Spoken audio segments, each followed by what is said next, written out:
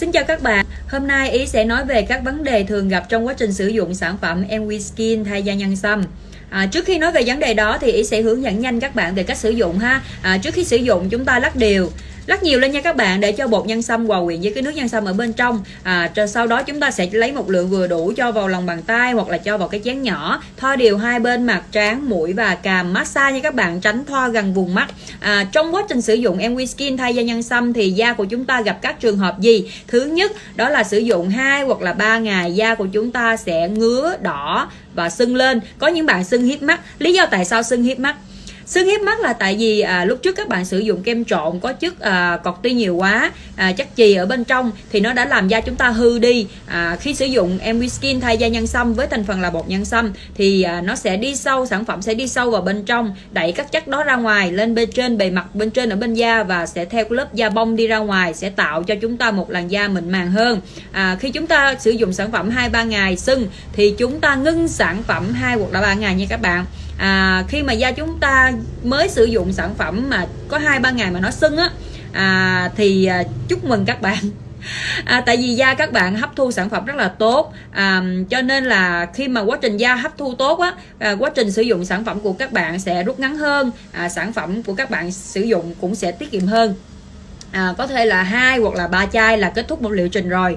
À, và trường hợp thứ hai ý sẽ nói đến các bạn đó là trường hợp khi chúng ta sử dụng sản phẩm hai ba ngày à, một tuần nửa tháng thậm chí là một tháng. À, da của chúng ta nó chỉ uh, dấu hiệu nó rất là ít.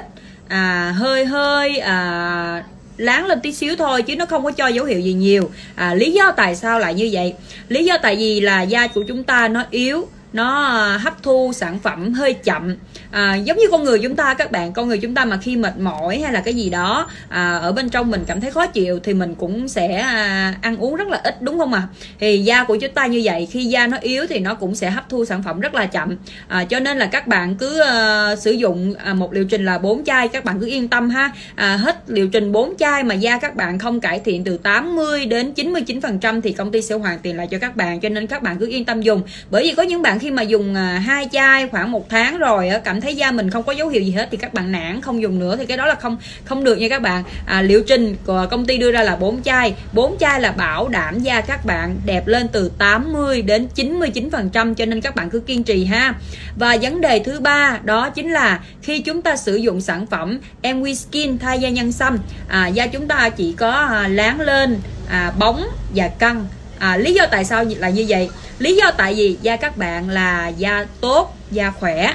À, bởi vì em skin thay da nhân sâm nó chỉ à, làm bông cái da à, gọi như là nám mụn à, da dầu hay là chất dơ của chất dầu ở dưới à, lên trên. Chứ nó không có à, khi mà da bạn không có bị bệnh lý gì hết. À, bạn chỉ muốn sử dụng để cho da mình à, như da em bé hoàn thiện cái da mình hơn. Bạn chỉ sử dụng à, thì da nó sẽ không có bông nha các bạn cho nên các bạn cứ yên tâm ha và ý muốn nhắc thêm một lần nữa là liệu trình của chúng ta là 4 chai à, trong vòng 2 tháng tầm trong vòng 2 tháng. Cho nên là à, những bạn mà khi mà sử dụng à, khoảng chừng à, một tuần mà hết một chai á thì cũng không tốt nha các bạn. Tại vì chúng ta chỉ thoa một ngày là khoảng à, 3 à, hai hoặc là ba lần thôi. À, đừng thoa nhiều quá. Khi mà da của chúng ta cũng như vậy nếu mà sản phẩm nó thoa nhiều quá nó chỉ làm cho hao tốn cái sản phẩm thôi chứ da của chúng ta nó chỉ hấp thụ đến à, cái mức đó thì các bạn chỉ thoa một ngày à, hai hoặc là ba lần là được rồi.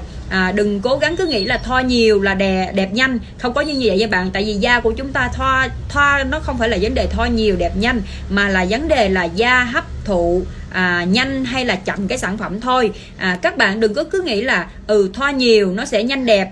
Như vậy thì chúng ta sẽ làm tốn cái sản phẩm của chúng ta tốn tiền của chúng ta mà thôi. À, chia sẻ của ý chỉ có vậy. À, xin à, cảm ơn các bạn đã theo dõi ha và chúc các bạn mau đẹp.